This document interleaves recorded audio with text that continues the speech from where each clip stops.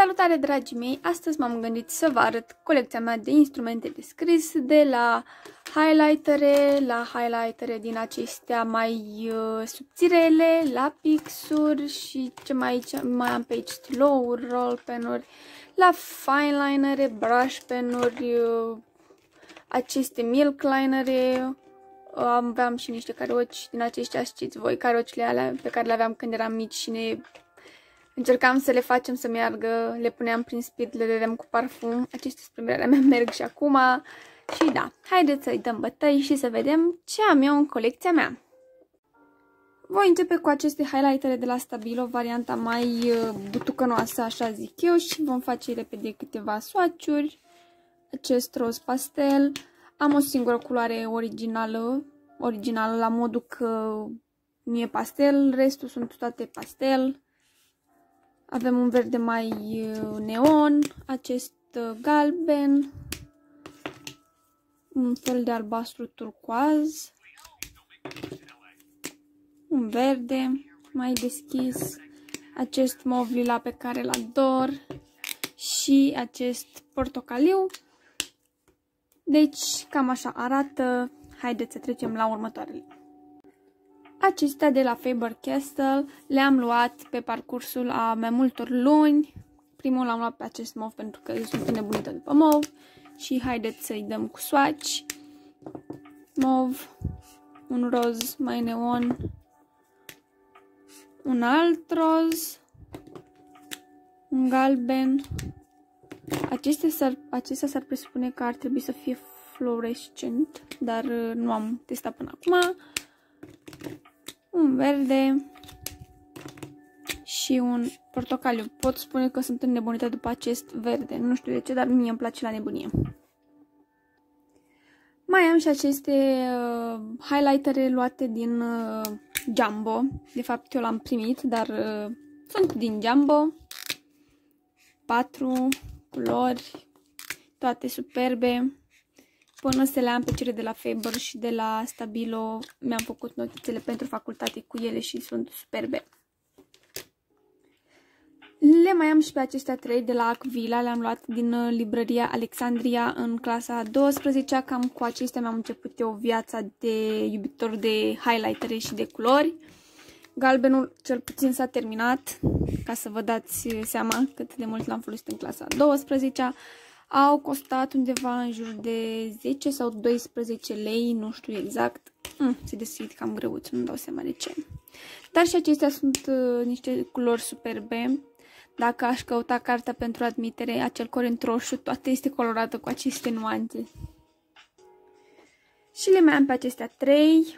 Uh, ăsta l-am luat dintr-un magazin, îmi plăcea, dar e puțin cam prea închis pentru a evidenția, dar îl folosesc la desene.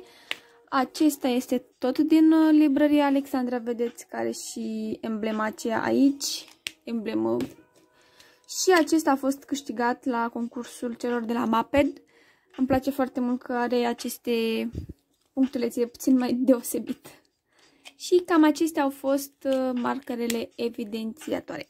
Acum să trecem la categoria markerelor de acest fel. Acestea sunt luate din Pepco, au costat 6 uh, lei și sau 5 lei, nu mai știu exact. Sunt niște culori pastelate. Îmi plac absolut toate. Acest lila îl ador. Și acest portocaliu este superb. Galbenul iarăși arată superb, nu este ca acel uh, evidențiator obișnuit. Și acest verde îmi place. Este puțin uh, mai țipător față de celelalte culori și acesta din urmă este la fel de țipător. Nu știu dacă se vede, dar nu asta este culoarea lui, este puțin mai roșiatică, rozalie. Dar nu mai contează. Așa, acum trecem la cele luate din Lidl. Am, am dat pe ele 7 lei seamănă foarte mult cu cele din Pepco, dar diferența dintre ele este că au această, hmm, focalizează, au această emblemă și albastru, deci îmi place și la nebunie acest albastru. Este așa liniștitor. Seamănă foarte mult cu cele din Pepco. Doar că acestea din Lidl au fost 5 culori, cele din Pepco au fost 6 culori, dar după cum vedeți, în principiu galbenul, portocaliul, albastru, în principiu seamănă între ele, așa că nu este mare diferență. Mai am unul Faber-Castell luat din Iași, de la o librărie, de la un Xerox, mai bine zis, l-am văzut și am zis că trebuie să fie al meu, mai ales că l-am văzut Faber-Castell și mă am zis că da, trebuie să fie al meu. Acum trecem la cele de la Bic. Am avut, aici am două seturi, dar le-am pus la oaltă pentru că sunt Bic.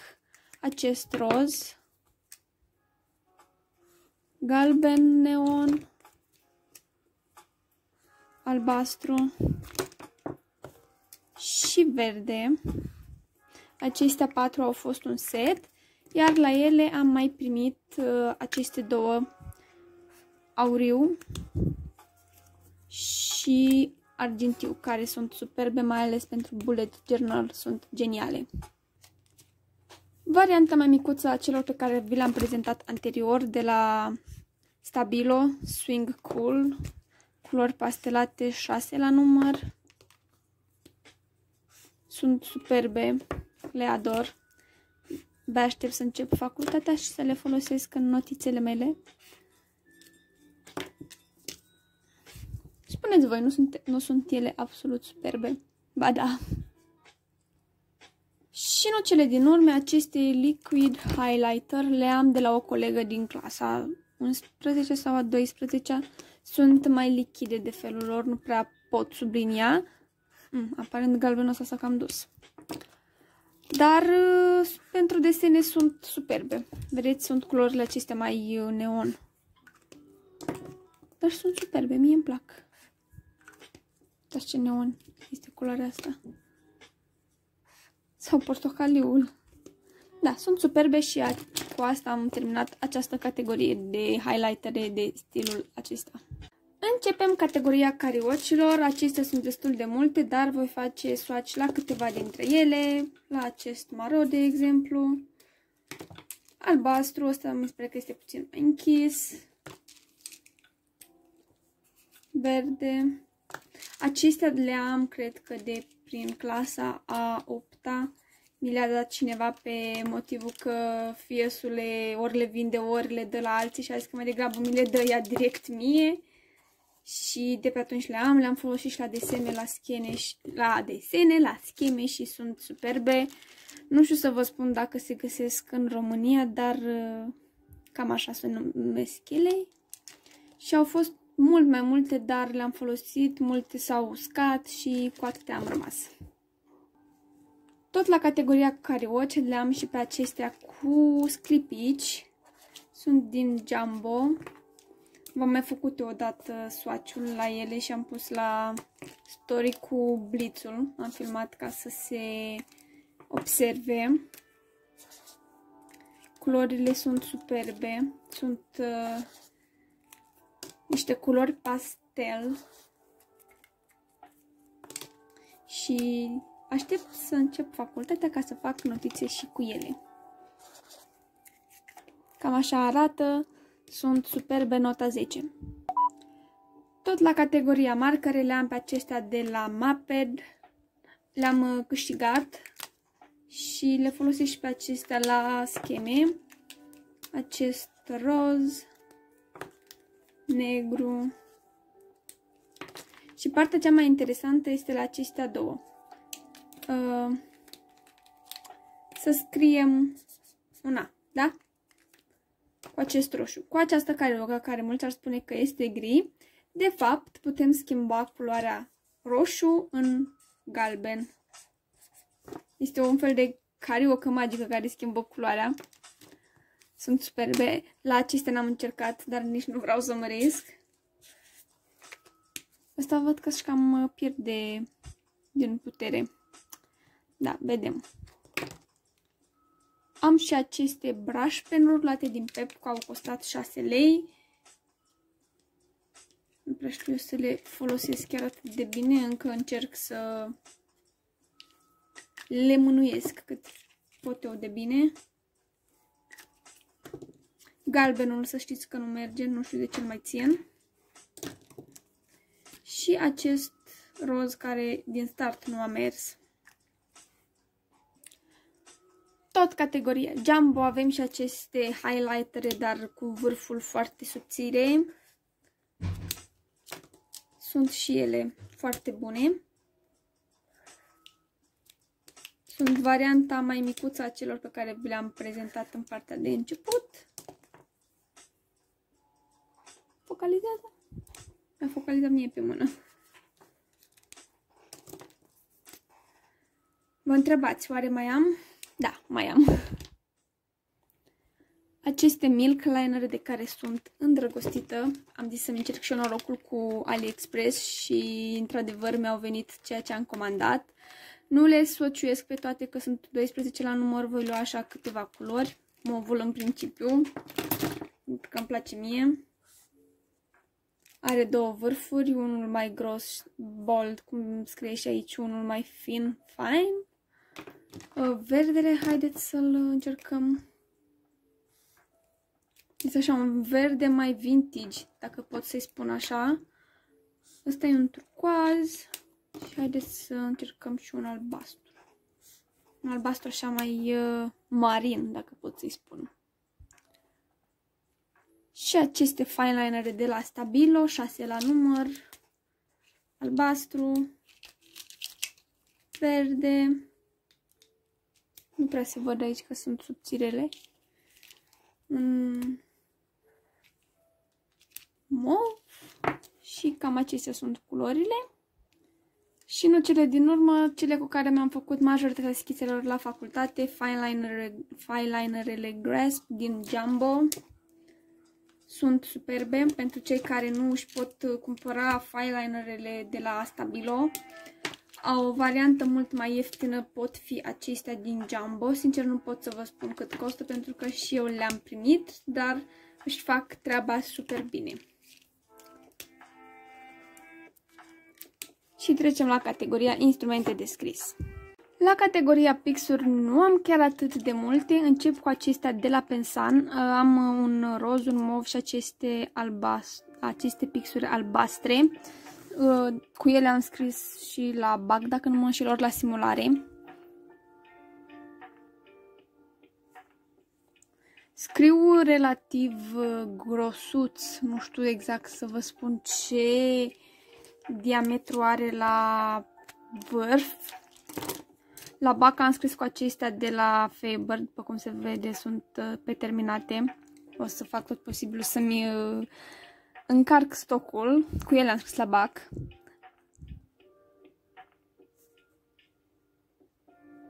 Scriu așa subțirel și lunecă efectiv pe foaie. Mai am și aceste Liquidly Rollable Pen. Scriu superb. Am și negru și roșu și albastru. Multe din notițele de la facultate le-am scris cu ele.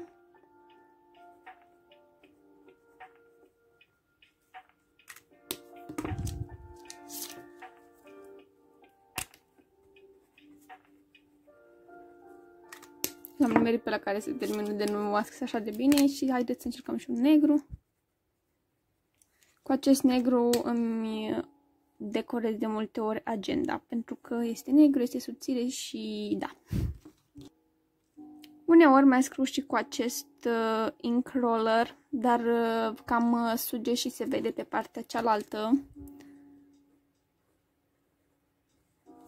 Haideți să facem un test. Da, vedeți, se vede și nu dă bine după. Mai am aceste pixuri de la Pelican, varianta negru o, și albastru și mai am și roșu, dar nu l-am găsit în borcanelul meu. Scriu relativ grosut față de celelalte, dar îmi place. Am momente când scriu cu vârf subțire, cum este acesta. Nu știu să vă spun exact ce marcă este, nu am mai auzit de Unijet Stream, dar scrie superb. Acesta este cam terminat, îl țin în caz de mă duc la Iași la Xerox unde mă duceam eu de obicei să-l găsesc, să-l iau de mai, mai multe... Ah, încă mai scrie.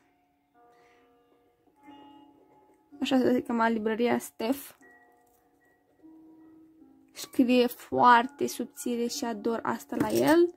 Mai am acest pixel, l-am într-un borcanel de vreo 50 de bucăți, negru, roșu și albastru. Și scrie și el destul de ok.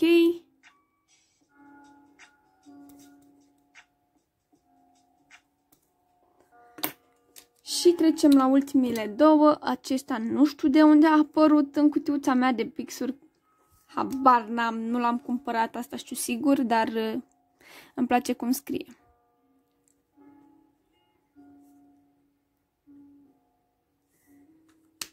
Iar ultimul este un uh, Free Friction de la Pilot. Sincer, nu l-am folosit până acum. Știu că este nou, dar uh, Oare este motivul pentru care nu l-am folosit? După cum vedeți, pasta este plină. Habar n-am. Poate îl fac eu să meargă.